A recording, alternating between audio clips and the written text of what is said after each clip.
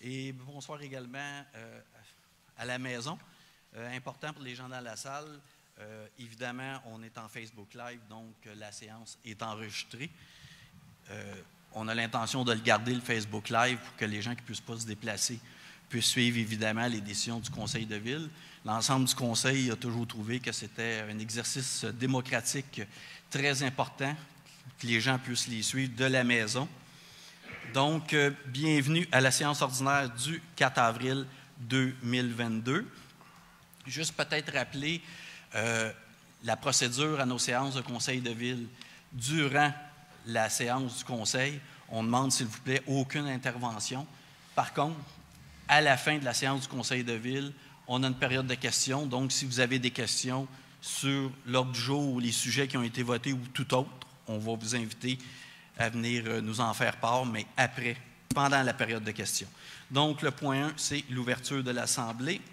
Le point 2, c'est l'adoption des procès-verbaux de, des séances des 7 et 24 mars 2022. Ça me prend un proposeur, M. Guévremont, appuyé par Mme Falker.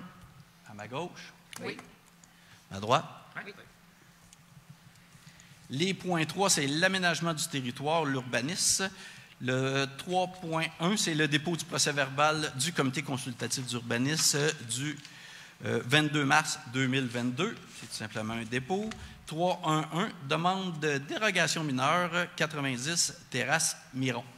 Évidemment, je vais euh, peut-être juste rajouter aussi, euh, la présentation souvent des sujets se fait par la responsable, normalement, en urbanisme, qui est Mme Falker. Euh, Mme Falker. Merci. Je pensais qu'il y avait quelque chose qui avait changé. Non. Euh, donc, euh, dans ce dossier-ci, le conseil municipal a été saisi d'une demande de dérogation mineure présentée par M. Louis-Philippe Chicoine. La demande est là pour but d'agrandir la résidence qui est située au 90 Terrasse Miron à une distance de 6,3 mètres de la ligne de terrain arrière, ce qui est dérogatoire. Euh, habituellement, le règlement demande une marge arrière minimale de 7,5 mètres. Euh, au niveau du conseil, après euh, l'analyse faite du dossier, on est en accord avec la recommandation du comité consultatif d'urbanisme à l'effet d'accepter la demande. Donc, euh, y a-t-il quelqu'un dans la salle qui désire se faire entendre pour cette dérogation mineure? Madame Falker. Donc, je propose que le conseil municipal accepte la demande de dérogation mineure relative aux 90 terrasses Miron. Donc, euh, proposé par Madame Falker, appuyé par Madame Ranger, à ma gauche. Oui. À ma droite. Oui. 3.1.2, demande de modification du permis PIIA et de dérogation mineure 1580 rue Notre-Dame. Madame Falker. Donc, le Conseil a été saisi d'une demande de modification au plan approuvé en PIA le 3 février 2020, euh, puis qui était présenté par M. Hugo Ward pour euh, sa compagnie. La modification est là pour but d'aménager euh, devant l'édifice en construction un accès en demi-cercle en cours avant de l'habitation multifamiliale. Le conseil municipal a aussi été saisi d'une demande de dérogation mineure à l'égard de ce projet-là euh, pour l'accès en demi-cercle dont la partie parallèle à la rue serait implantée à même la ligne, avant de terrain. Donc, on parle euh, à 0 mètre au lieu de 3 mètres habituellement, euh, ce qui est dérogatoire au règlement de zonage. malgré tout, c'est un projet qui rencontre les objectifs et les critères du règlement sur les PIA. C'est un petit projet rendu nécessaire hein, avec la nouvelle réalité d'aujourd'hui, euh, les livraisons et tout et tout. Euh, ça nécessitait l'installation d'un équipement comme ça. Euh, puis après considération des faits, ben, le conseil municipal est d'accord avec la recommandation du comité consultatif d'urbanisme à l'effet d'accepter la demande, mais avec des conditions. Parfait. Donc, suite à l'apparition de l'avis public relative aux dérogations mineures, aucune personne intéressée s'est manifestée par écrit. Y a-t-il quelqu'un dans la salle qui désire se faire entendre pour cette dérogation mineure? Oui, exactement. Exact. Madame Falcon. Donc, euh, concernant le permis PIA, je propose que le conseil municipal approuve la modification du plan d'implantation produit par Mireille Asselin, euh, daté euh, de septembre 2019, relative à l'accès véhiculaire en demi-cercle au 1580 rue Notre-Dame. Pour ce qui est de la dérogation mineure, euh, je propose que le Conseil accepte la demande de dérogation mineure euh, aux conditions suivantes. Donc, le ministère des Transports du Québec doit également donner son approbation au projet. Et puis, le revêtement de l'accès qui soit constitué de pavés et non d'asphalte, c'était une suggestion du promoteur. Alors, on l'a retenu. Parfait. Donc, proposé par Mme Falker, appuyé par Mme Ranger. À ma droite? Oui. À ma gauche? Oui. 313, demande de dérogation mineure, 264, rue Notre-Dame. Madame Falker. On a été saisi d'une demande de dérogation mineure présentée par M. Maxime Thibouteau. La demande est là pour but de construire un gazebo d'une superficie de 75 mètres carrés au lieu de 18 mètres carrés, ce qui est dérogatoire au règlement de zonage. Euh, ça a l'air très gros comme, euh, comme différence. Il faut tenir compte, par contre, euh, du terrain, où est-ce que c'est implanté, euh, de la grosseur de la maison aussi, euh, puis bon, de, tout ce qui est nature dérogatoire ou dérogation mineure. Donc, ça, respecte quand même l'ensemble des critères. Le conseil municipal, bien, après l'analyse du dossier, est en accord avec la recommandation du comité consultatif d'urbanisme à l'effet d'accepter la demande. Suite à l'apparition de la vie publique, euh, aucune personne intéressée ne s'est manifestée. Y a-t-il quelqu'un dans la salle qui désire se faire entendre pour cette dérogation mineure? Madame Falker. Donc, je propose que le conseil municipal accepte la demande de dérogation mineure relative au 264 rue Notre-Dame. Donc, euh, proposé par Madame Falker, appuyé par Monsieur Tremblay. Des fois, je vise. Hein? À ma droite? Ah, oui. À ma gauche? Oui. Il était pas sûr. 314, demande de dérogation mineure, 220 rue des Camomilles. Madame Falker. Le Conseil a été saisi d'une demande de dérogation mineure présentée par Madame Joanne Bourque. La demande est là pour but d'agrandir la résidence située au 220 rue des Camomilles à une distance de 6,8 mètres de la ligne de terrain au lieu de 7,5 mètres, ce qui est dérogatoire au règlement de zonage. Euh, après l'analyse euh, de la demande, euh, le conseil municipal est en accord avec la recommandation du comité consultatif d'urbanisme à l'effet d'accepter la demande. Donc, également, suite à l'apparition de la vie publique, aucune personne intéressée ne s'est manifestée. Y a-t-il quelqu'un dans la salle qui désire se faire entendre cette dérogation mineure? Madame Falker. je propose que le conseil municipal accepte la demande de dérogation mineure relative au 220 rue des Camomilles. Donc, euh, proposé par Mme Falker, appuyé par M. Pellerin. À ma gauche? Oui. À ma droite? Oui. 315, demande de dérogation mineure, 39, chemin Lavaltrie. Madame Falca. Le Conseil a été saisi d'une demande de dérogation mineure présentée par M. Bruno Tremblay pour la MRC de Dautré. La demande est là pour but d'aménager au 39 chemin de la Valtrie, c'est le poste de police, un accès véhiculaire donnant sur la rue euh, située à l'arrière, donc qui est la rue Suzanne, ce qui est dérogatoire au règlement de zonage. Euh, c'est une demande qui, euh, qui, justifie en fait par l'implantation de la nouvelle clinique, la perte d'une autre sortie plus rapide ou d'urgence, donc une deuxième sortie était nécessaire. Et puis au niveau du conseil municipal, après l'analyse du dossier, on, on est, en, euh, on est en accord avec la recommandation du comité consultatif d'urbanisme à l'effet d'accepter la demande. Également, suite à la parution de l'avis public, aucune personne intéressée ne s'est manifestée. Y a-t-il quelqu'un dans la salle qui désire se faire entendre cette dérogation mineure? Également, il y avait la conséquence de l'urbanisation de la centre hein, du chemin Lavaltrie qui va se faire à partir de cette année. Donc, évidemment, pour la police, pour sortir en urgence, il, y avait, il pouvait se présenter une problématique c'était pour avoir les deux sorties ou deux rentrées. Donc, proposé par Mme Falker, appuyé par Mme Ranger. À ma gauche? Oui. À ma droite? Oui. Vous ne m'avez pas laissé le temps de le dire que je le proposais. C'est un détail. Pardon? J'ai pas eu le temps de le dire que je le proposais, mais, c'est un détail. c'est bon pareil.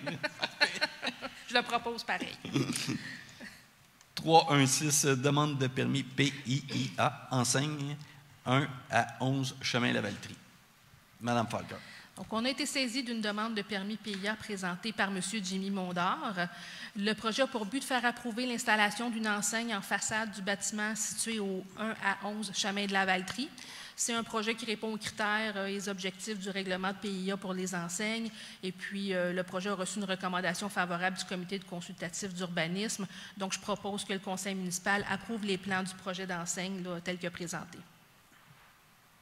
Donc, proposé par Mme Falker appuyé par Mme Ranger, à ma gauche. Oui. À ma droite. Oui. 3.2, demande de, modification du permis PIIA EVEX montée Guimousseau. Madame Falcon. On a été saisi d'une demande de prolongation des échéanciers pour la réalisation des plans approuvés en PIA en mars 2020, euh, présentés par le groupe EVEX pour les projets sur la montée Guimousseau. Donc, euh, la demande vise à prolonger jusqu'à la fin novembre 2022 le délai des travaux de construction et d'aménagement des habitations multifamiliales qui sont situées du 398 au 421 rue des Ancolis, puis du 70 au 206 Montée-Guimousseau. Donc, ce n'était pas un problème à notre niveau. Donc, je propose que le conseil municipal accepte la demande du groupe EVEX pour prolonger euh, les échéanciers tels que demandés. Donc, proposé par Mme Falker, appuyé par M. Pellerin. À ma gauche, oui. À ma droite? Oui. 3.3. Désignation d'une fourrière d'auto 122 rang Saint-Henri. Madame Falker. Oui, donc euh, au niveau de la Société de l'assurance automobile du Québec a mis en œuvre des dispositions réglementaires qui sont relatives à la saisie euh, et à la mise en fourrière des véhicules routiers. Euh, des dispositions là, qui, qui, sont mentionnées au Code de la sécurité routière et qui sont en vigueur depuis quand même plusieurs années. Euh, la municipalité peut désigner une fourrière pour la garde des véhicules saisis. Euh, une résolution comme celle-là n'engage pas la municipalité à utiliser les services de remorquage trois étoiles. Euh, par contre, remorquage trois étoiles pourra desservir, entre autres, la, Sûreté du Québec et le contrôle routier du Québec. Donc, je propose que le conseil municipal désigne remorquage routier trois étoiles, propriété de M. Bernard Laflamme, à opérer une fourrière d'auto au 122 rang Saint-Henri puis à demander l'inscription au fichier des fourrières reconnues par la SAC pour le territoire de la municipalité de la Valtrie. Puis que Remorquage 3 étoiles, euh, évidemment, doit se conformer aux exigences de la Société de l'assurance automobile, dont notamment les règles de bonne pratique contenues dans leur guide. Euh, que les installations de remorquage 3 étoiles doivent être conformes aux règlements en vigueur dans la municipalité, puis que la municipalité se dégage de toute responsabilité quant à la conservation, à la garde, au vol ou au vandalisme des véhicules routiers saisis. Donc, j'en fais la proposition. Donc, euh, proposé par Mme Falker, appuyé par Mme Ranger, à ma gauche. Oui. À ma droite. Oui. 3.4, le 3.4, dépôt de certificat d'absence de demande de participation référendaire pour le règlement. Je vous passe le numéro. De toute façon, c'est seulement un dépôt. Et le point suivant, c'est euh, l'adoption du règlement.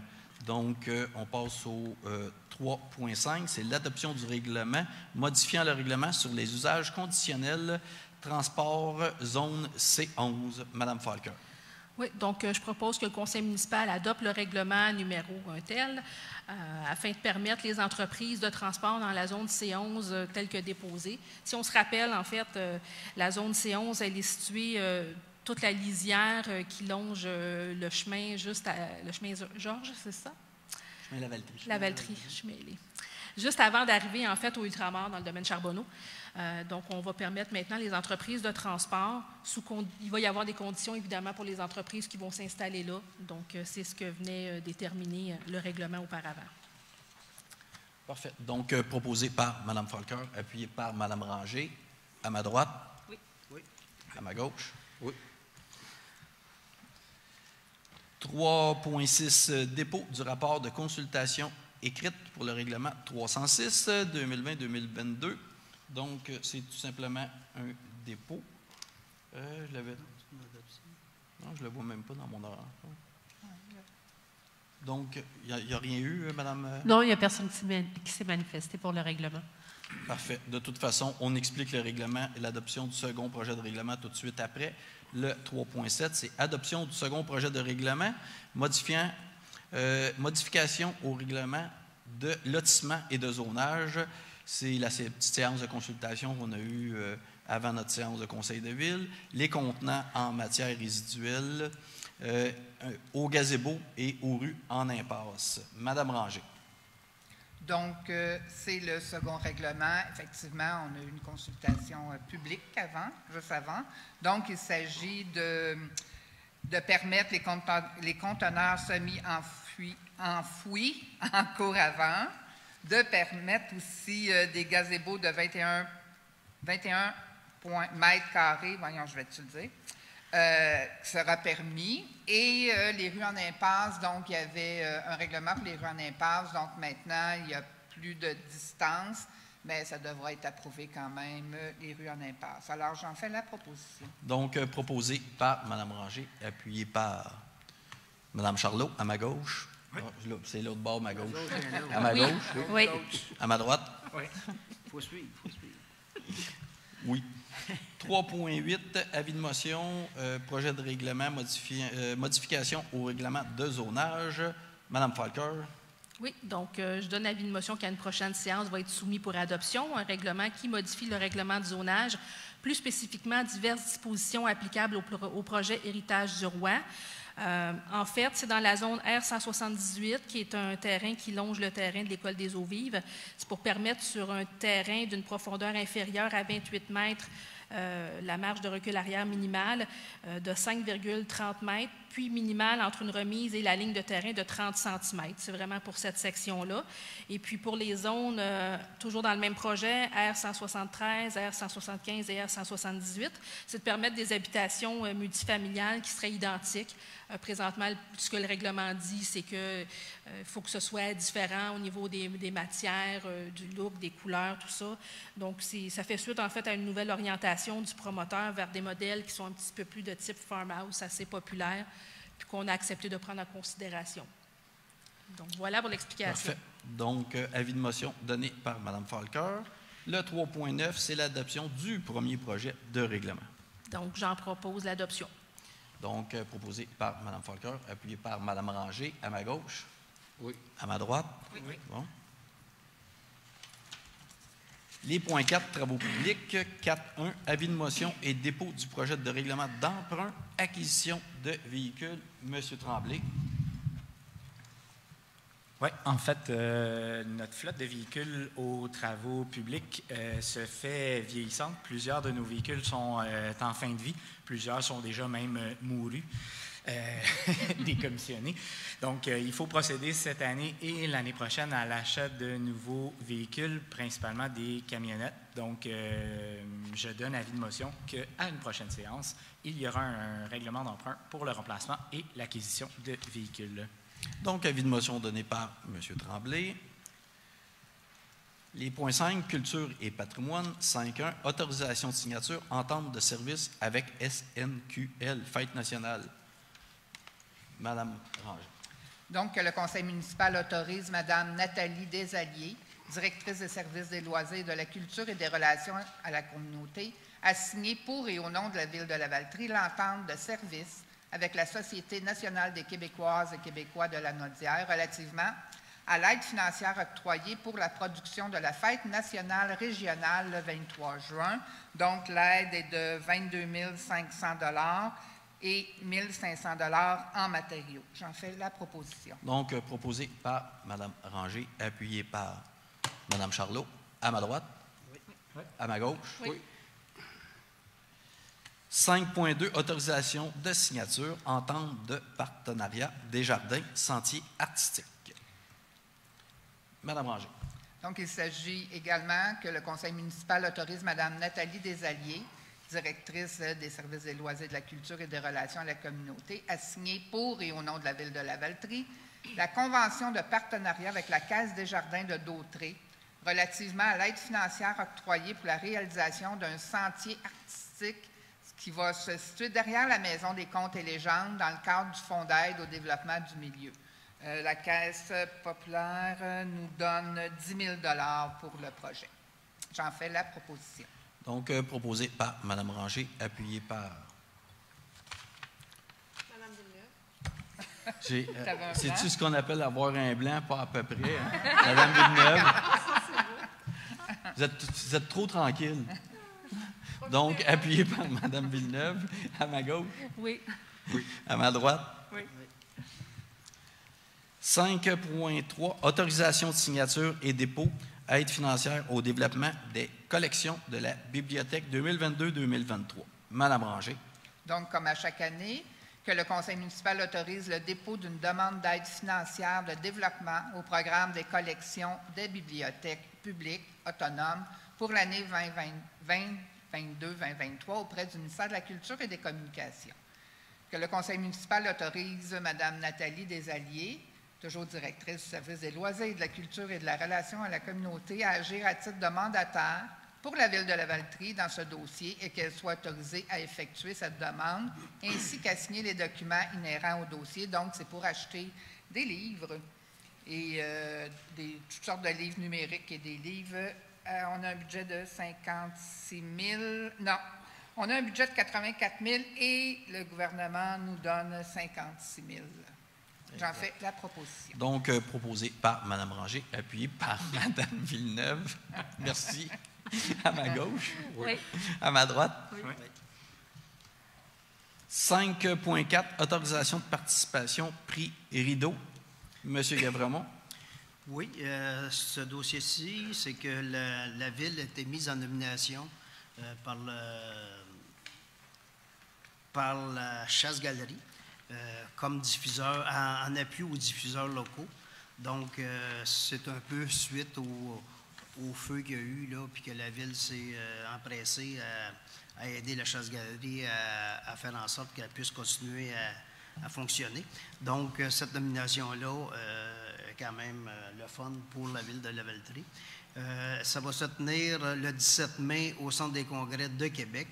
Donc, c'est pour autoriser M. le maire Christian Goulet et Mme Francine Ranger, conseillère, euh, à participer à cet événement, que les frais de participation, d'hébergement et de déplacement soient remboursés par la Ville, le cas échéant, sur, sur présentation de pièces justificatives. Alors, j'en fais la proposition. Donc, euh, proposé par M. Gavremont, appuyé par M. Tremblay, à ma droite. Oui. À ma gauche. Oui. Point 6, administration aux ressources humaines et financières. 6.1, nomination horticultrice. Madame Ranger. Donc, un poste régulier à temps partiel d'horticultrice au service des travaux publics est vacant. Euh, nous avons une recommandation de la directrice des ressources humaines, Mme Karine Brousseau, de retenir la candidature de Mme Chantal Saunier à ce poste. Donc, euh, je propose que le conseil municipal procède à la nomination de Mme Chantal Saunier au poste régulier à temps partiel d'horticultrice au service des travaux publics. Cette nomination soit effective à compter du 4 avril, que les conditions de travail soient celles prévues à la convention collective en vigueur. Voilà, j'en fais la proposition. Proposé par Mme Ranger, appuyé par M. Pellerin. À ma gauche? Oui. À ma droite? 6.2, ratification d'embauche et nomination manœuvre. Madame Ranger. Donc, un poste régulier à temps complet de manœuvre au service des travaux publics est vacant. La recommandation de la directrice des ressources humaines, Mme Karine Brousseau, de retenir la candidature de M. Michael Morin. Donc, je propose que le conseil municipal procède à la ratification de l'embauche et à la nomination de M. Michael Morin au poste de manœuvre au service des travaux publics. Que cette nomination soit ratifiée à compter de l'entrée en fonction de M. Morin, soit le 21 mars 2022, et que la rémunération soit celle prévue à la convention collective à l'échelon 3 de la fonction de manœuvre. Que M. Morin soit soumis à une période d'essai de 1040 heures travaillées et que les autres conditions de travail soient celles prévues à la convention collective. J'en fais la proposition, M. le Donc, euh, proposé par Mme Ranger, appuyé par Mme Villeneuve. À ma gauche. Oui. À ma droite. Oui. 6.3, embauche et démission par délégation des pouvoirs du directeur général. C'est tout simplement un dépôt. Ça, souvent, ce n'est pas des emplois permanents, hein, c'est des emplois euh, saisonniers, euh, que ce soit pour nos exemples, le camp euh, qu'il y a eu cet hiver, pour la semaine de relâche. Donc, c'est toujours des emplois saisonniers. Donc, c'est tout simplement un dépôt qui est fait aux élus. 6.4, Également, dépôt certificat euh, relatif au déroulement de la procédure d'enregistrement des, personnes habilitées à voter pour le règlement 22, ça aussi, c'est un dépôt. Ça là, c'était pas les intérêts pécuniers, c'est ça-là. Non, c'est un règlement d'emprunt pour euh, de l'asphalte, trottoir, bâtiments municipaux. Donc, il n'y a personne qui s'est manifesté, pardon, personne ne s'est manifesté pour, euh, pour demander un, référendum. Parfait. Donc, euh, c'était simplement un dépôt et pas une demande. Euh, 6, 5, éthique et déontologie, formation des élus. Ça, c'est conformément, conformément aux dispositions de l'article 15 de la loi sur l'éthique et la déontologie en matière municipale. La greffière a fait rapport au Conseil de la participation de l'ensemble des élus à la session de formation dispensée par le cabinet des HC Avocats intitulée Formation en éthique et déontologie à l'intention des élus municipaux. On a suivi cette formation-là le 12 mars 2022. Ça, c'est une formation que la loi provinciale nous oblige comme élus à suivre. Anciennement, c'était seulement les nouveaux élus, euh, mais là, c'est l'ensemble des élus qui ont dû suivre cette formation. Et c'est un bon rappel.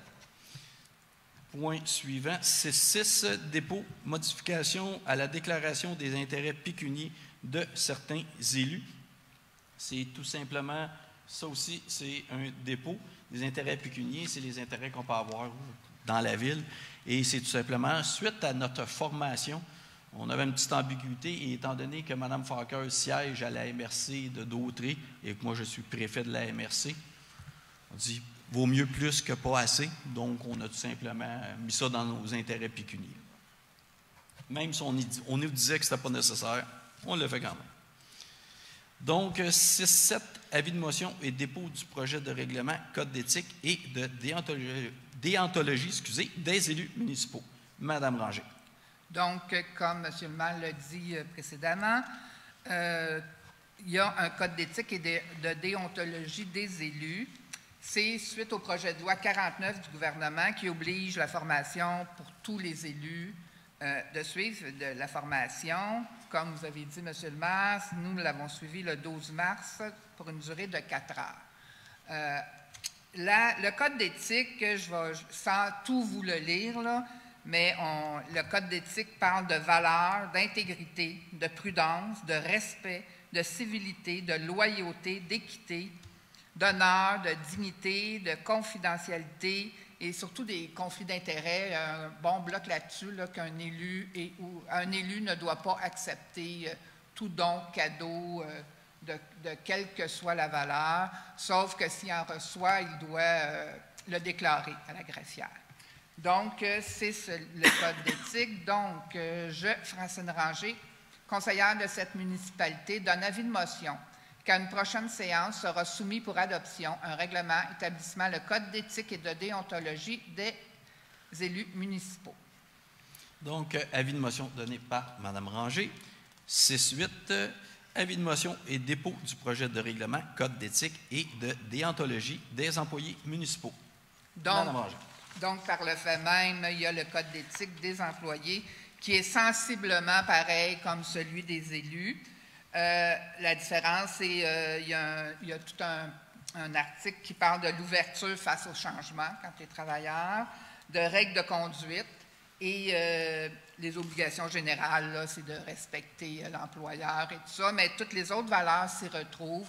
Et ils ont également, eux aussi, euh, un article qui dit qu'ils n'ont pas le droit de recevoir des cadeaux, des dons euh, dans l'exercice de leur fonction. Euh, S'ils en reçoivent, euh, c'est un maximum euh, de 100 là. Il y a toujours des, des montants euh, limites. Il faut qu'ils fassent la déclaration à la greffière. En Donc- fait, euh, Madame Oui. Ranger, aucun cadeau d'un fournisseur de la ville ou d'un. Oui, oui, oui, oui, oui. oui. Puis si c'est un don privé de quelqu'un qui n'est pas vraiment un fournisseur de la ville, il faut le déclarer. Pour que ma blonde puisse continuer à me faire des cadeaux. Oh, pauvre Hein? monsieur le maire. Donc, euh, je, je, Francine Ranger, conseillère de cette municipalité, donne avis de motion qu'à une prochaine séance sera soumis pour adoption un règlement établissant le code d'éthique et de déontologie des employés municipaux.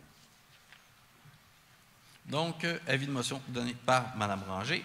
6.9, euh, dossier juridique opposant la ville à José Lortie et Raymond A. Cyr. Mme Ranger. Donc, euh, attendu le- les litiges qui opposent Mme José Lortie et M. Raymond A.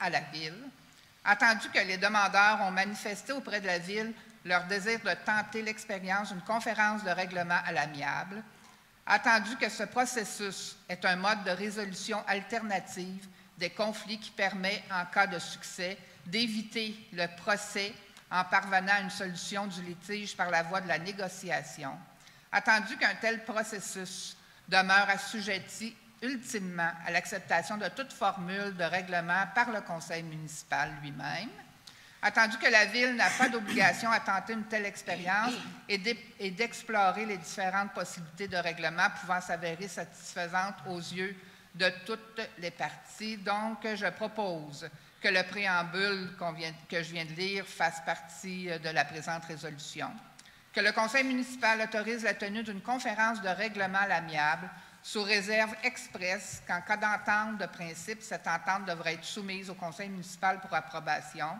que les procureurs de la Ville soient informés de la présente résolution et coordonnent les démarches requises en vue de la tenue d'une telle conférence de règlement à l'amiable. On dit toujours vaut mieux un règlement qu'une décision en cours. Alors, j'en fais la proposition, Monsieur le Donc, maire. euh, proposé par Mme Ranger, appuyé par Mme Falcoeur. À ma gauche? Oui. À ma droite? Oui. 6.10, euh, dossier juridique opposant la Ville à l'entreprise à numéro 9306-1380 Québec. Et M. Tremblay. Oui, je vais, euh, je vais commencer par dire que dans le cas des dossiers juridiques comme ça qui sont en cours, ben on est euh, avare de commentaires ou on est très bref euh, sur ce qu'on nomme.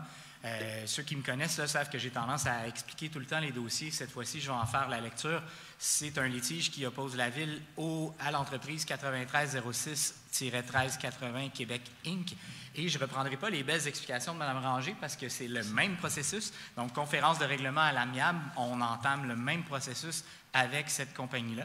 Euh, je propose donc qu'on autorise la tenue d'une conférence de règlement à l'amiable. Et comme le dit si bien Mme Ranger, vaut mieux un règlement à la- à l'amiable que d'aller en cours. Donc, euh, je le propose. Donc, euh, proposé par M. Tremblay, appuyé par M. Guévremont, à ma droite. Oui. À ma gauche. Oui. Oui. 6.11, adoption du règlement. Stationnement. M. Tremblay. Oui, donc on vient, je vais approcher mon micro, on vient euh, modifier euh, la circulation et le stationnement sur notre territoire, tout près du parc Gérard-Lavallée, euh, surtout pour les véhicules qui ont des remorques avec des embarcations. On s'est rendu compte que la fin de semaine, c'était problématique sur, euh, de mémoire, trois rues. là. il y avait Terrasse Miron, Claude, je pense qu'il me manque un prénom, là, aidez-moi. C'est le petit... euh, Gérard. pardon? Gérard. Gérard. Gérard, merci. Donc, euh, c'est ces trois rues-là où on va venir interdire le stationnement avec remorque. Dans la descente aussi sur Saint-Antoine-Sud, donc la descente euh, qui mène au terrain de baseball et au quai municipal, on va venir interdire la fin de semaine, le samedi et le dimanche matin seulement, jusqu'à midi, euh, le stationnement euh, sur le côté du terrain de tennis et du terrain de baseball, dans le but de faire une file d'attente pour euh, les embarcations qui descendent au quai. C'était souvent problématique, l'attente faisait en sorte qu'il y avait beaucoup de circulation, puis euh, ça bloquait, là, ça bloquait carrément la rue Saint-Antoine. Donc c'était très long et très hasardeux pour les citoyens des rues que j'ai nommées tantôt, là, Miron, Gérard et Claude. Donc on vient modifier ça pour permettre une meilleure fluidité. Je pense que ça fait le tour là, des modifications. Ouais. Euh, c'est la descente, puis c'est le stationnement euh, sur les trois rues. J'en fais la proposition. Donc, euh, proposé par M. Tremblay, appuyé par. Je suis épouvantable à soir, hein? Madame Charlot Méran, je suis épouvantable à soir, c'est incroyable. Mettez-moi tous les noms vers moi, s'il vous plaît. Aidez-moi quelqu'un. Donc, appuyé par Madame Charlot, à ma droite. Oui. À ma gauche. Oui. Habituellement, c'est plus souvent sur ma gauche que ma droite que je vais me tromper. mais là, Ça va bien à date. euh, c'est, oui, hein, gauche-droite, ça va quand même pas pire. 6-12, adoption du règlement tarification. Monsieur Tremblay. Ah, règlement de tarification, on est, euh, je vais encore une fois rapprocher mon micro. Là, c'est moi qui ai de la difficulté à suivre. Règlement de tarification, on vient modifier euh, la tarification principalement pour euh, l'accès au quai pour les embarcations, euh, donc les bateaux, l'été. On vient modifier, entre autres, de mémoire, c'est les non-résidents qui n'auront plus le droit d'avoir de permis quotidien. Ça va être un permis saisonnier où ils vont, venir, ils vont devoir venir le chercher. Je vais juste aller chercher j'avais préparé le petit tableau, voilà. Donc, les modifications vont comme suit. Évidemment, pour nos résidents, l'accès saisonnier, l'accès commercial, les embarcations nautiques euh, non motorisées, euh, soit les SUP ou euh, les, kayaks, c'est gratuit pour nos résidents. Maintenant, pour les non-résidents, le permis saisonnier passe à 350 le permis commercial saisonnier passe à 460 et pour ce qui est des embarcations nautiques non motorisées, ils ont accès au quai. Par contre, ils n'ont pas accès euh, au stationnement, donc les non-saisonniers. On vient restreindre les non-résidents, plutôt pas saisonniers, mais les non-résidents. On vient restreindre un petit peu l'accès aux non-résidents parce qu'on s'est rendu compte qu'il y avait un achalandage là, vraiment important et que ça brimait un petit peu nos propres citoyens d'avoir accès au quai. Je pense que ça fait le tour là, des modifications qu'il y avait en tarification. J'en fait la proposition. Donc, euh, proposé par M. Tremblay, appuyé par Mme Charlot. À ma droite? Oui. À ma gauche? À la fin, monsieur, il y a une période de questions à la fin. Ce qu'il faut comprendre, c'est effectivement, puis notre capacité d'accueil euh, s'en voit excessivement limitée due au secteur. Et important, euh, on a eu une séance extraordinaire hein, sur certains sujets euh, et c'était pour donner des avis de motion, parce qu'il faut comprendre, pour accélérer, le processus d'adoption de ces règlements-là, étant donné que c'est des choses qui sont mises en place, euh, comme le règlement d'arrosage à partir du 1er mai, on ne pouvait attendre avec toute la procédure légale qu'il faut faire. Donc, c'est pour ça également qu'il y a eu une séance extraordinaire où on a donné les avis de motion. Et là, c'est l'adoption pour pouvoir les mettre en action, évidemment, euh, au mois de mai. 6.13, adoption du règlement réserve foncière pour dépenses liées à la tenue des élections. Madame Ranger.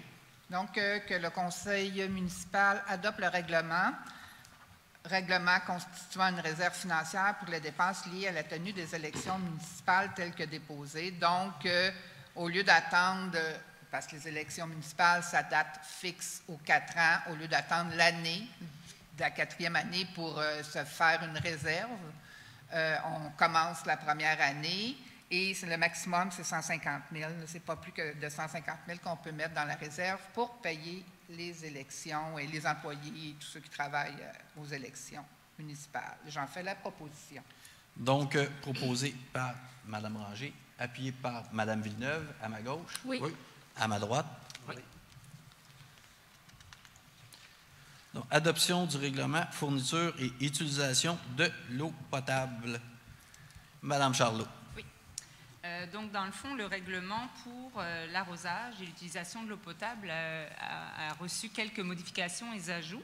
Donc, je vais vous en faire la lecture. le précédent règlement, dans le fond, était excusez-moi, je vais refaire ma phrase, les, responsables de l'application de l'ancien règlement étaient faites par le directeur, les contremaîtres et les techniciens en génie civil au niveau des travaux publics. Cette fois-ci, on ajoute à ces personnes-là le chef des opérations et la responsable en environnement, qui vont pouvoir faire donc appliquer le règlement. Donc là, je ne vous passerai pas tout le règlement complet, je vais simplement aller sur les modifications. Donc, euh, au niveau du lavage des véhicules, euh, c'est permis en tout temps par contre, il va falloir utiliser soit bah, dans le fond une chaudière, un seau vous allez laver euh, à la main, ou bien un boyau qui va avoir un, système d'arrêt de valve manuel. Donc, vous ne pouvez pas le laisser couler l'eau sans surveillance, tout simplement. Euh, au niveau du lavage des entrées des automobiles, des trottoirs, des patios, les murs extérieurs de votre bâtiment, ça c'est permis simplement lorsque vous avez fait des travaux, des travaux de peinture, de construction, de rénovation et que ça justifie le nettoyage de celui-ci et toujours avec un boyau que l'on peut ouvrir et fermer manuellement. Le lavage d'un bâtiment, donc mur extérieur, rampe, perron, c'est-à-dire vous voulez laver votre maison simplement pour la dépoussiérer un petit peu, là, ça va être permis uniquement du 1er avril au 15 mai. Et la condition, c'est toujours d'utiliser le fameux dit boyau qui est sous votre contrôle. Le, le changement là, qui, qui, est important pour la plupart des citoyens, c'est au niveau de l'arrosage. Donc là, on a fait une modification également. Présentement, vous aviez droit à deux jours par semaine selon vos secteurs, selon si vous étiez père ou impair. Puis c'était deux heures à chaque fois, puis encore là, dépendamment de votre secteur, c'était de 19h à 21h ou de 21h à 23h.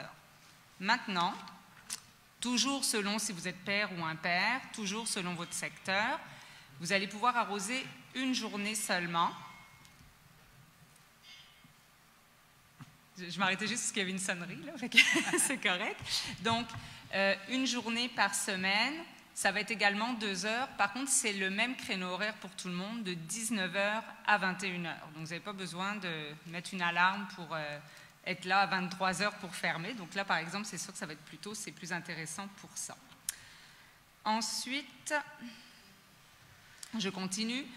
Si vous voulez arroser évidemment euh, un arbuste, vos jardinières, vos fleurs, etc., vous pouvez n'importe quand utiliser toujours le boyau d'arrosage avec l'ouverture euh, manuelle ou un arrosoir euh, que vous avez à la maison. Il n'y a pas de problème là-dessus. C'est vraiment, là on parlait du permis d'arrosage quand vous n'êtes pas en train de contrôler l'arrosage. Donc c'est avec les, secteurs et les horaires. Si vous avez besoin d'un permis spécial, donc c'est-à-dire que vous allez avoir besoin pardon, euh, si vous avez obtenu un, permis spécial. Avant, c'était de 19h à 23h, l'autorisation. Maintenant, c'est de, 19h à 22h. Ce permis est toujours gratuit. Par contre, il est non renouvelable, ce qui était déjà le cas. Si vous achetez de la tourbe, donc des, plaques gazonnées, vous allez pouvoir l'arroser en tout temps durant la journée de son installation, parce qu'on sait que c'est ça que ça prend. Par contre, si euh, on vous demande euh, une preuve euh, d'achat, il ben, faut être capable de nous prouver que vous venez de l'acheter avec la date. Donc, ça ne fait pas trois jours, dans le fond, que vous l'arrosez présentement. Si vous faites des travaux de béton dans votre cour, votre patio euh, ou votre trottoir, vous allez avoir le droit d'arroser pendant une période maximale de cinq jours, parce qu'on sait également que c'est le laps de temps voulu qu'on vous recommande. Et ça, c'est une demande de permis spécial qui doit être effectuée. Ensuite, au niveau de la piscine et des spas, si vous voulez, euh, dans le fond, acheter une piscine, une nouvelle piscine ou remplacer une toile et que vous avez besoin de remplir au complet euh, la dite piscine, il euh, va falloir aussi fournir une preuve, soit de l'achat de la toile, soit de la piscine, pour bien démontrer que c'est dans le fond pour remplir un nouvel équipement. Ensuite, pour les jeux d'eau, euh, jusqu'à présent, c'était interdit. Maintenant, euh, on peut avoir des jeux d'eau, mais encore là, il faut que le système d'arrosage, euh, dans le fond, soit muni d'un déclenchement sur appel, c'est-à-dire que vous devez l'allumer et le fermer et être à côté au moment de l'utilisation. Vous ne pouvez pas le laisser rouler comme ça, avec de l'eau de la ville dessus, sans surveillance. Donc, il faut être à côté. en cas de mesure d'urgence, c'est-à-dire grande sécheresse ou autre, euh, évidemment, il va être possible, si vous avez reçu euh, une autorisation pour une nouvelle plantation ou autre, d'avoir un permis d'arrosage. Ça va être toujours autorisé d'arroser, mais par contre, si la, pardon, la situation est vraiment critique, la ville de la Valtrie peut à tout moment lever cette autorisation exceptionnellement. Donc, je vais finir avec les pénalités qui, elles aussi, ont changé. Donc, euh, quiconque qui contrevient aux dispositions citées précédemment euh, au règlement se verra euh, pour une amende, dans le fond, qui était de 75 dollars, elle va passer à 100 dollars pour une première infraction. si c'est une récidive, on va passer à 200 dollars, c'était 150 dollars présentement. Et puis, il peut y avoir des frais de gestion qui s'ajoutent à la demande. Alors, voilà, c'est c'est tout ce que j'avais à dire. Il y en avait beaucoup là, mais il y avait quand même beaucoup de modifications. Donc, euh, j'en fais la proposition. Donc, euh, proposé par Mme Charlot. Euh, oui, bien, je, je, vais, venir sur votre. appuyé par M. Tremblay, à ma droite. Oui. À ma gauche. Oui. oui. M. Pellerin. moi, je suis contre, mais je suis d'accord pour l'arrosage d'eau.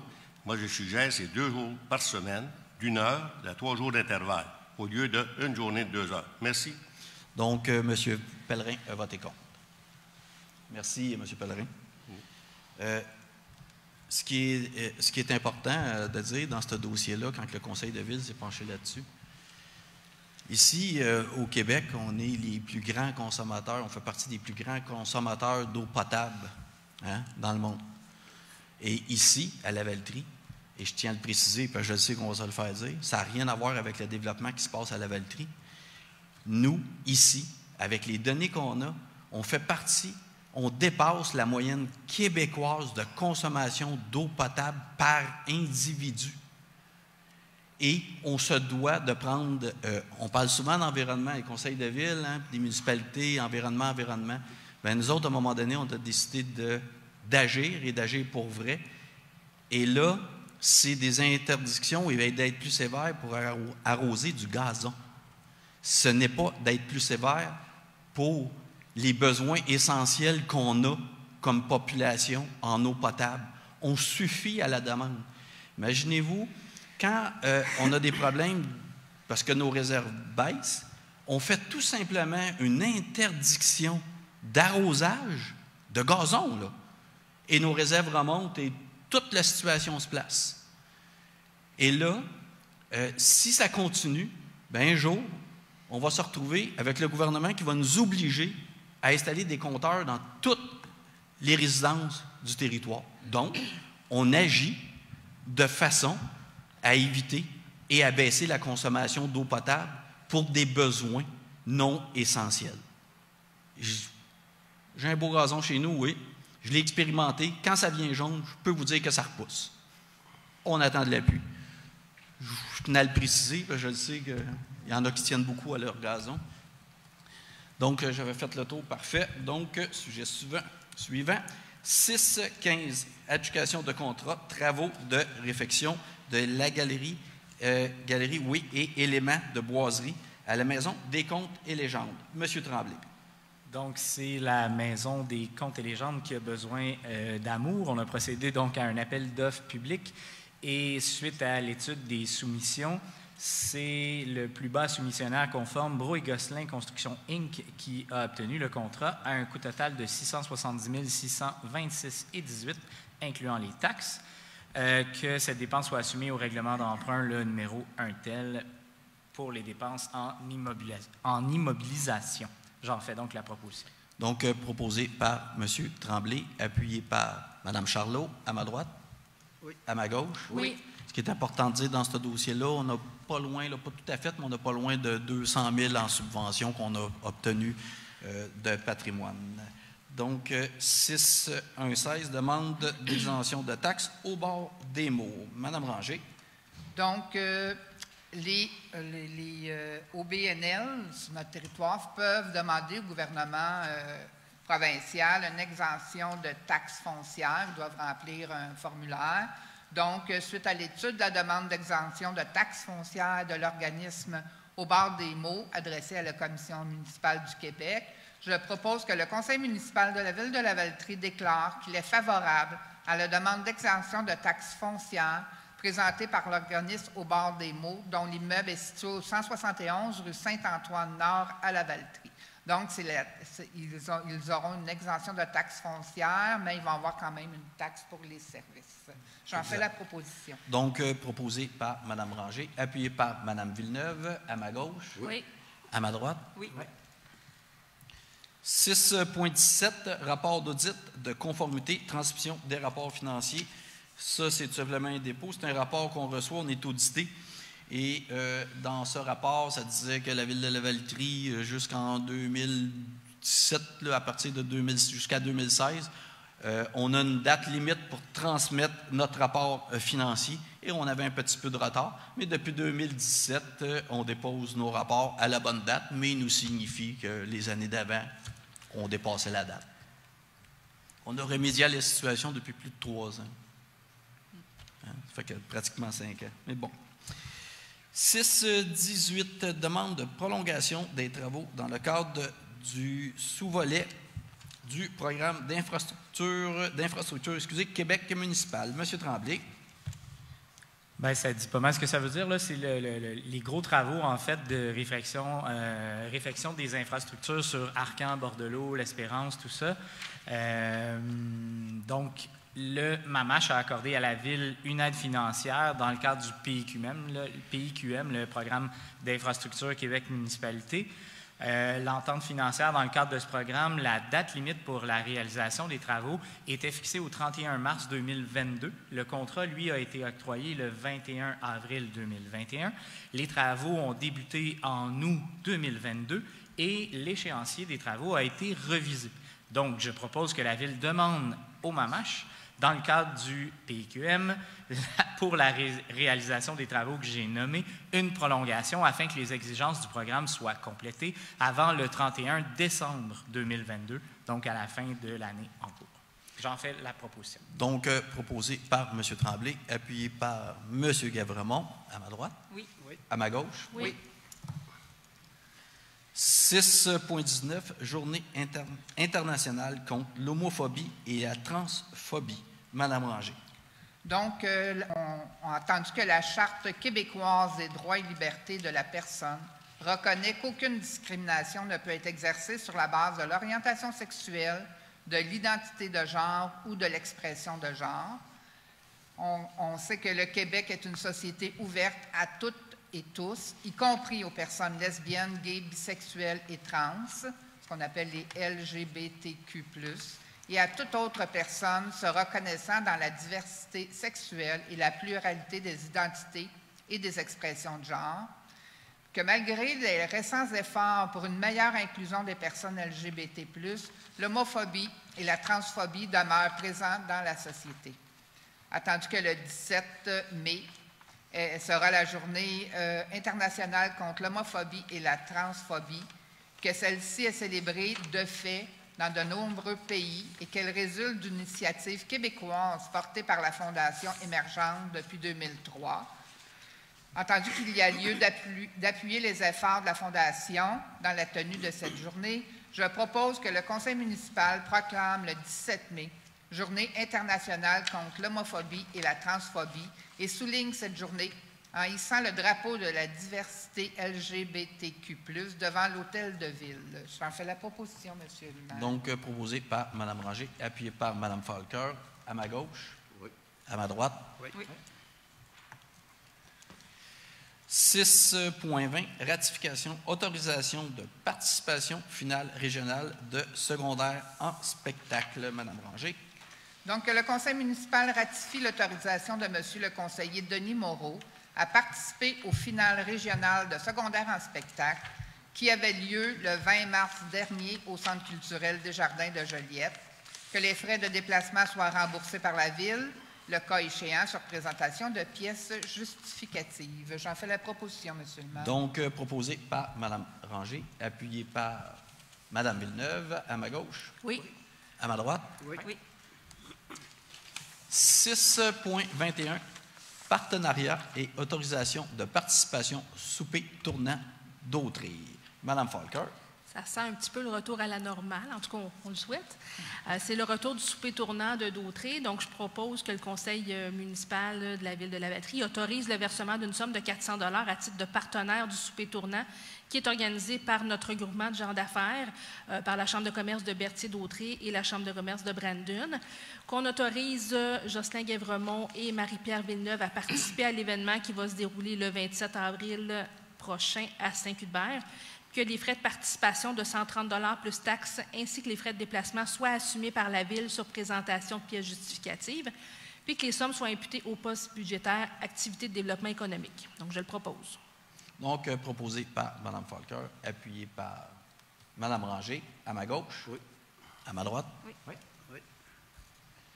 6.22, autorisation de participation, chantier régional en réussite éducative. Madame Ranger.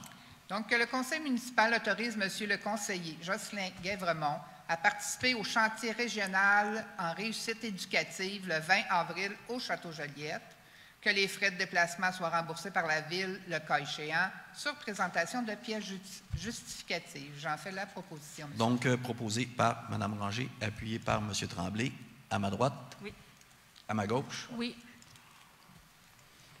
6.23, soutien financier, Association des trappeurs professionnels du Québec. Madame Charlot. Oui, simplement, c'est pour stipuler, stipuler pardon, que la Ville va donner une subvention de 100 dollars à l'Association des trappeurs professionnels du Québec. Donc, proposé par Mme Charlot, appuyé par M. Tremblay à ma droite. C'est bon. À ma gauche. Oui. Je veux dire, malgré ce que les gens peuvent penser, on utilise des trappeurs à la Valtrie parce qu'on se retrouve souvent avec euh, des barrages de castors. Donc, euh, c'est le trappeur qui, dé- qu'on dit, qui déménage le castor.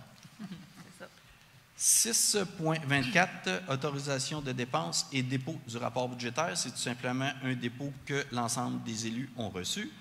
6.25, autorisation de paiement, compte à payer, Madame Ranger. Donc, que le conseil municipal autorise le paiement des déboursés du 7 mars 2022 au 4 avril 2022 de la ville de la Valtrie, incluant les dépenses du fonds d'administration et les dépenses en immobilisation, le tout pour une somme de 2 785 942 et 81 sous, selon le rapport déposé par le service de la trésorerie en date du 31 mars 2022, lequel est annexé à la présente résolution pour en faire partie intégrante. J'en fais la proposition. Donc, euh, proposé par Mme Ranger, appuyé par M. Guévremont à ma droite. Oui. À ma gauche. Oui. À date, ma gauche et ma droite vont très bien. C'est juste nos noms. Je m'appelle. Juste vos noms que j'ai oubliés. C'est un détail. 7.1, euh, donc, c'est le courrier. Suis obligé d'en faire mention. C'est tout simplement du courrier de la MRC de Dautry. C'est la, la résolution du contrôle intérimaire pour les zones inondables. Donc, euh, on a, euh, exemple, Mandeville, là, qui avait une problématique d'un endroit où ils se retrouvaient iso- inondés et ils pouvaient euh, se bâtir là. Donc, il y a eu des changements et il nous dépose le règlement. L'autre, c'est publication du règlement autorisant des dépenses et passer des contrats. C'est tout simplement les directeurs de services de la MRC de Dautré ont une autorisation de dépenser d'à peu près 2000 dollars par directeur de service. C'était pour des nouveaux directeurs qui, venaient- qui étaient rentrés en fonction. Donc, euh, point 8, période de questions. Euh, il y a un micro ici, juste vous levez la main, puis vous pouvez vous présenter au micro. Euh, je m'excuse, hein, je ne vous vois pas bien, mais j'ai Mme Messa en arrière aussi après. Oui, on vous écoute. Bonjour. J'ai quelques questions en passant.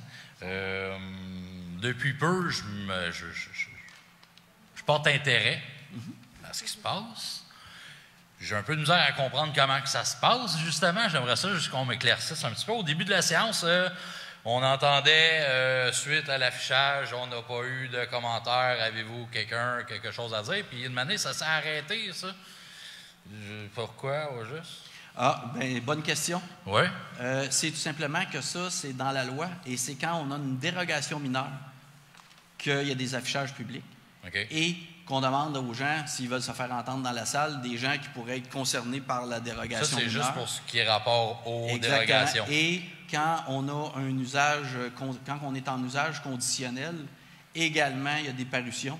Également, on demande s'il y a des gens qui sont intéressés. C'est vraiment de- dans la loi, dans ces deux points-là. Fait que là, on parle des poser la question. 3.1. Quand on parle de dérogation, non, c'est quand ça n'a rien à voir avec le point à l'ordre du jour. C'est vraiment quand c'est une dérogation mineure ou de l'usage conditionnel. non, mais je veux dire, à partir des 3.2, il n'y en avait plus. Là, de... Exactement. Quand je ne le demande pas, c'est parce que vraiment, c'est pas dans le processus euh, légal. Autrement dit, mettons j'aurais voulu dire de quoi, mettons, sur la fourrière. Ça n'aurait rien donné. Exactement. OK, cool. Euh, deuxième question. euh, quand vous aviez dit, mettons, je- par exemple, l'affaire de, la, de la verrière, là, de- du. Le gazebo. le gaz, euh, pas le gazebo, là, mais le trois saisons qu'il y avait dans le nouveau développement. Là. Vous avez dit, c'était en affichage. C'est affiché où, ça? Ça, c'est affiché sur notre site Internet et à l'hôtel de ville. OK. Donc, euh, et je dirais aussi, euh, je ramènerais peut-être le règlement d'arrosage. Des fois, ici, hein, ça peut être. Il y avait beaucoup de choses, mais c'est important, sur le site Internet de la ville de la Valtrie, euh, une fois. euh, une fois par mois, quand vous voyez au début de la, sé- de la séance, on adopte le procès verbal de la dernière séance. À partir de, de ce moment-là, comme aujourd'hui, on vient de l'adopter, donc la séance du mois passé se retrouve publique sur notre site. Donc, c'est vraiment le point où les gens peuvent aller chercher l'information. Puis vous pouvez aller voir les avis publics euh, Sur le site Internet. Qui, qui parle? Toujours caché. C'est Mme Chara qui est notre euh, greffière. Les avis publics sur le site Internet. Si vous les trouvez, c'est là où on vous annonce les, les choses à vérifier. Question euh, trois, euh, point 3.8, avis de motion qui était euh, le zonage qui était trop proche de la ligne. Euh, si je comprends bien, vous avez dit avis de motion, un monsieur dépose euh, la demande, puis tout de suite après, on l'accepte. Oui, mais il faut faire attention. Euh, des bonnes questions parce que c'est un avis de motion qui est donné, on explique le projet. Ouais. Par la suite, il faut, faut puis c'est une bonne question, adoption du premier projet. C'est un projet de règlement. Donc, ce n'est nullement l'adoption du projet. Euh, la loi, parce que c'est vraiment une question de loi, on se doit de, de donner l'avis de motion, d'expliquer, et après ça, c'est l'adoption du projet de règlement et non l'adoption du règlement. Le règlement n'est pas adopté, sera adopté dans une séance autre. Dans, dans la prochaine séance Exactement. ou une matinée pendant l'année? Habituellement, c'est dans la suivante. Fait que si je ne serais pas content de ce point-là, ça serait à moi de me prononcer d'ici un mois, d'ici la prochaine séance. Ça dépend. Il faut faire attention. Il y a des choses, il y a des endroits où les gens peuvent s'opposer, c'est quand il y a un registre référendaire et qu'il y a un changement de zonage. Euh, dans beaucoup de décisions, Mais sur une euh, comme on ça, il y peut- a- quand il y a une séance de consultation, comme on a fait tantôt, euh, les gens peuvent poser des questions. Ou là, ben, le conseil de ville peut se repositionner selon le questionnement des gens. Donc, c'est à ça que ça sert la séance de consultation. Euh, Ça, c'est ce qui se passe à 6h30, ça. Exactement, ce qu'on a fait. Quand on fait une séance de consultation, c'est parce qu'il y a un changement et les gens ne peuvent pas nécessairement s'opposer, mais c'est quand même un processus important parce que les gens peuvent venir ici et questionner le conseil de ville puis dire ah ben pas- pas d'accord ou ben avoir des explications puis pour bien comprendre de l'importance aussi des fois d'avoir des gens ici qui, qui viennent la poser la question. Mais il ne peut pas avoir d'opposition. OK. Puis je vous dirais encore une fois, le moment où vous pouvez vous, vous prononcer, faire, euh, faire acte que vous souhaitez euh, faire un commentaire quelconque, c'est en regardant les avis publics, où on vous dit à quel moment vous pouvez intervenir dans le processus réglementaire. OK. J'achève, il me reste rien que 25 minutes. Euh, quand on disait que. Mais euh, oui, note à, mémoire, à moi-même, hein, m'amener un crayon parce que beaucoup. hein, je- là, j'aurais retrouvé ma question. Euh, sont où nos castors? pardon, Sont où nos castors? Les castors sont où? Euh, dans les lacs. Sont où les lacs? Ouais, la, la rivière Saint-Jean, La M. Gros. La rivière Saint-Jean, rivière Saint-Antoine, ruisseau Saint-Antoine, c'est tout en zone agricole où euh, ça arrive que des castors font Ça, des c'est barrages. c'est-tu dans le coin où il y a le pont brisé, ça? Entre autres, ça pourrait être là, mais ça pourrait aussi, c'est surtout plus en zone agricole, la rivière Saint-Antoine, le ruisseau Saint-Antoine. Non, c'est c'est la première fois que je l'entendais sur les castors à la batterie. Ouais. Et puis, euh, je vais en profiter pour. euh, Monsieur Tremblay, avant la séance, me disait que c'était rare que vous receviez des fleurs puis que le monde faisait juste chialer après. Euh, ça va dépendre, de, ça, ça va dépendre de, de la réponse qu'il va me donner. Euh, L'accès au quai, on a dit que c'était 300 pour l'été, 350. 350 Pour les non-résidents. pour les non-résidents, exactement. L'année passée, c'était combien un quotidien? 200, si je ne me trompe pas. Non, un quotidien. 40. 40 euros. Ouais. Fait que la personne qui venait sept fois dans son été rentrait dans son été. Oui, sept fois, OK, c'est bon. Ben, merci. Ben, ça va être bon, ben, ça, la descente, là, le trafic, tout, c'est vrai. décision, euh, la décision, monsieur, si vous me permettez, n'est pas que financière. Loin de là, parce que le fait d'octroyer des permis aux non-résidents qui se pointaient à brûle pour le point, là, ça occasionnait des files d'attente monstres. Oui, oui, je suis d'accord. Fait que c'est principalement pour ça qu'on a enlevé Moi, je, le- le- je voulais juste m'assurer que quelqu'un ne revenait pas nécessairement gagnant au change non plus. Non. Si vous m'auriez dit, ah, ça coûtait 100$ piastres dans les deux jours, puis là, ça en coûte 350 pour tout l'été. Mais ben, bon matin, les fleurs sont lancées pour une fois. fait que j'aurais pas juste chiolé après vous autres à soir. Merci. Et puis, euh, je pense qu'on n'est pas loin de la fin. là. J'ai pas de crayon. Fait que. Ben, il n'y a pas de problème. Bon, hein, L'autre mais- affaire que je voulais savoir, ça avait rapport à une, une dépense de. Je ne vais pas vous dire directement, mais M. le maire qui allait à quelque part, je ne me rappelle plus où, je veux juste savoir combien que ça coûtait, ça. Mais Laquelle? je m'en rappelle plus, je n'ai pas noté. À Québec, pour Rideau. Mme Ranger, à Québec. À Québec. Les prix Quand on va aller pour- exactement, pour les prix euh, pour recevoir le prix Rideau. Je ne sais Euh, pas, ça dépend aussi. Ça dépend, mais c'est une nuit. Euh, on descend, et, euh, c'est- ça se passe dans la soirée, on couche là, puis on s'en revient. OK. Fait que là, pour vous dire le prix, je pourrais pas vous dire. au Mais c'est le, prix d'une- c'est le prix de deux chambres d'hôtel, parce qu'on n'est pas conjoints. On n'est pas. Pas un donc, euh, c'est le prix de deux chambres C'est d'hôtel. pas au motel Beauport, là. Pardon? C'est pas au motel Beauport. Non, non. Pas au château. C'est pas au château je- je- J'espère. Merci. Eh ben, merci beaucoup, c'était des bonnes questions. Dormir dans une huile de castor à Québec. Instructif pour tout le monde. Madame Messa, enchantée de vous revoir. Bon, bonjour tout le monde. Bonjour. Euh, J'ai failli vous amener un cadeau. Je ne sais pas s'il était plus de 100 dollars, mais il était grand comme ça, à peu près deux pieds. Il est fait en asphalte. Il vient. Non, non, riez pas, c'est pas drôle. Il vient d'à côté du parc euh, sur la rue Turnbull. L'asphalte est en train de, de, de mourir tranquillement et de faire des gros trous, encore une fois.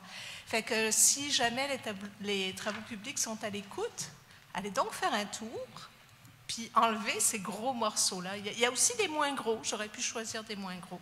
On va en Mais, prendre euh, note, Madame Messa. Sérieux, Monsieur, euh, euh, allez Monsieur Bro, mais Madame Messa, il ne faut pas gêner aussi. Hein? Puis ça, je pense que c'est intéressant de le dire à l'ensemble de la population. Même moi, je fais, je fais le même processus que n'importe quel citoyen. Hein?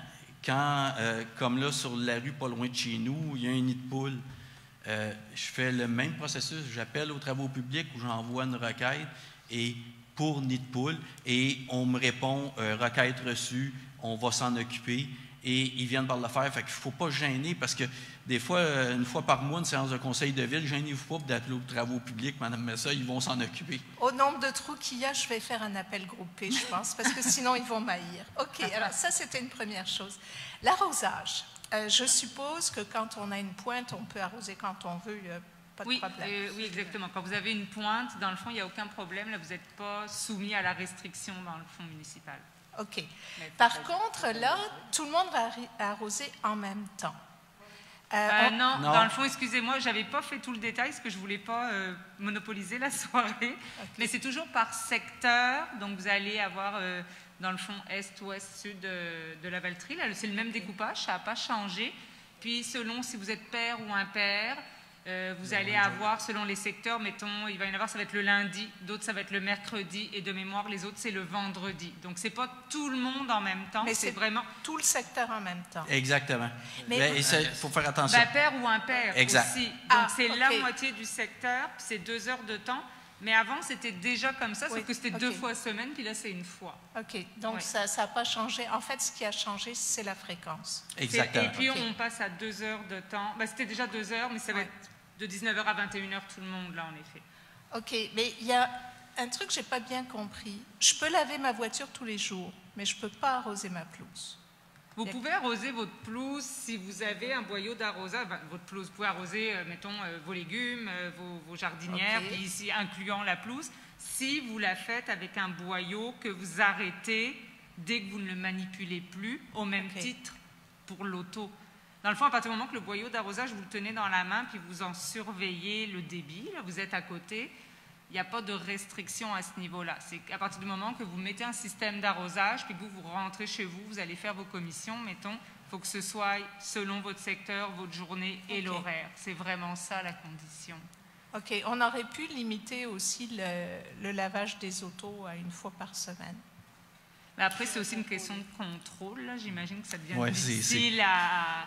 C'est ce que vous l'avez lavé la veille, l'avant-veille ou juste il y a une semaine, ça devient difficile à gérer au niveau Prendre du la pluie, contrôle. La pluie, puis- Donc, euh, Ouais, c'est ça. en tout cas. Faut- que- il faut quand même avoir la cap- capacité de contrôle. Par contre, euh, sur euh, euh, l'eau potable, euh, le conseil de ville met ça en place en espérant voir, euh, puis on a euh, vraiment toutes les données de consommation.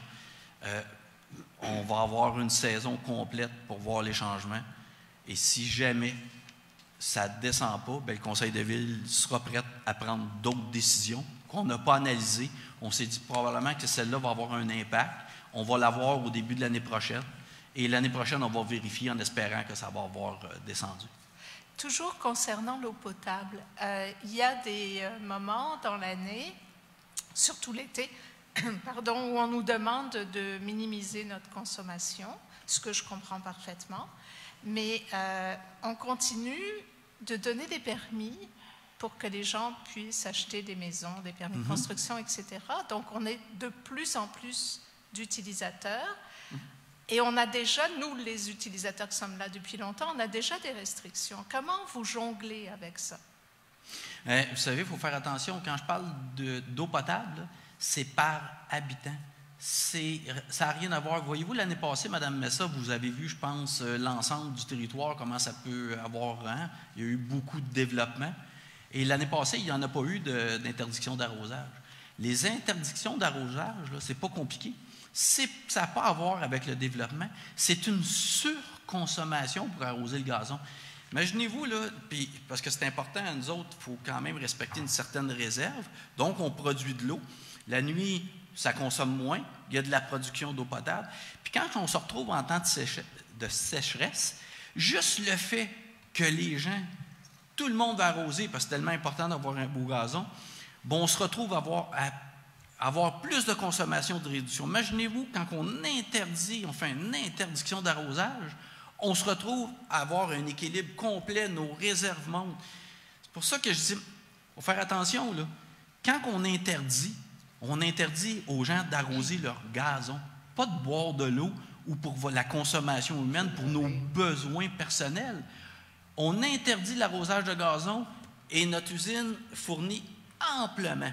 Donc le lien, il est évident entre, entre manque d'eau et arrosage de gazon. Que- complet- c'est- c'est- c'est- Voyez-vous, l'année passée, avec toutes les constructions, on a émis des permis d'arrosage, évidemment. On le comprend. Quelqu'un qui vient d'arriver, qui se pose une nouvelle pelouse, il faut qu'il soit capable d'arroser son gazon le temps qu'il prenne comme il faut. Mais malgré le nombre, puis je ne me souviens pas, là, mais le nombre de permis d'arrosage, évidemment, dû aux nouvelles constructions qu'on a émis, a causé aucun problème. Mais les gens exagèrent sur l'arrosage du gazon. Je comprends, mais est-ce que... Il faut, faut dire que, excusez Mme Messa, euh, l'importance, moi, ça fait plus de 26 ans que je reste à la Valtrie. Euh, moi, je me suis posé une pointe d'eau, je n'ai jamais pris l'eau d'aquaduc, l'eau potable pour arroser. Donc, il y a des mesures alternatives pour ceux qui, vous, qui veulent absolument arroser, peuvent se faire installer une pointe avec J'en une ai pompe. une. Je, je- je- je connais le système, j'en ai une. Et Mais- on a des subven- on a même une petite subvention en plus qu'on donne pour ceux qui voudraient s'en faire installer. Mais quand vous attribuez les permis de construction, vous tenez compte de la capacité de production de l'eau potable? Définitivement. Ça fait partie des critères? Ça fait partie des critères et ça fait partie de ça. OK. Puis, je, je peux rajouter, des fois, quand on, euh, quand on se retrouve au printemps, où on dit aux gens, puis c'est une bonne question, de réduire leur consommation, c'est pas parce que l'usine ne fournit pas. C'est parce qu'on se retrouve dans une problématique dans nos égouts sanitaires, ou ce qu'on appelle les eaux parasites. Donc, ce qui arrive, il y a des eaux parasites et beaucoup, beaucoup de maisons, on appelle ça des, euh, des branchements, euh, j'ai oublié le mot, monsieur Combiné. combinés, des branchements combinés. Autrement dit, les sommes pompes qui sont dans les maisons, beaucoup sur l'ensemble du territoire de la Valtrie, rejettent quand les pompes partent directement dans nos- égouts sanitaires. Ce qui fait que pendant les dégels et des immenses puits, on se retrouve que nos égouts sanitaires sont sur- saturés. Mais ils ne sont pas sa- saturés parce qu'ils ne suffisent pas. C'est parce que les gens sont branchés à amener de l'eau de puits dans nos égouts. Donc, on dit aux gens, réduisez votre consommation pour permettre à cette eau-là de s'évacuer. C'est un problématique qu'on a sur le territoire. C'est ce qu'on appelle souvent, parce que les gens peuvent penser, mais des eaux parasites, pas des parasites. C'est de l'eau qui n'a pas d'affaires. Exemple, on a les chiffres. Notre usine de filtration euh, euh, fait une production de tant de mètres cubes d'eau.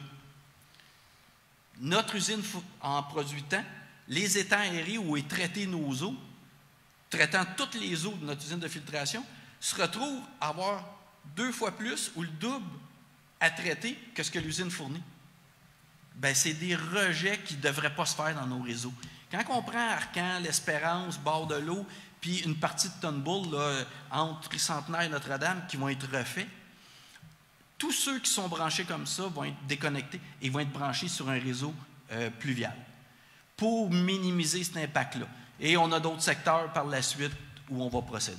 OK, donc ce n'est pas une question de fournir assez d'eau, c'est une question de traiter l'eau parasite. Exactement. OK, ben, Et- merci de la précision. Ben, c'est une bonne question, Mme Messa, parce que vous allez le voir passer, les citoyens vont le voir passer dans un futur proche où on va faire des investissements à notre usine de filtration. Là, évidemment, on va, hein, on va dire, ça, mais oui, ça n'a pas de bon sens parce que la ville grossit. Non, non. Exemple, le- la première place où l'eau va est envoyée, c'est dans un décanteur. Ce décanteur-là, c'est la première étape de filtration. Ce décanteur-là a 60 ans. Faut comprendre, Dites pas que c'est vieux.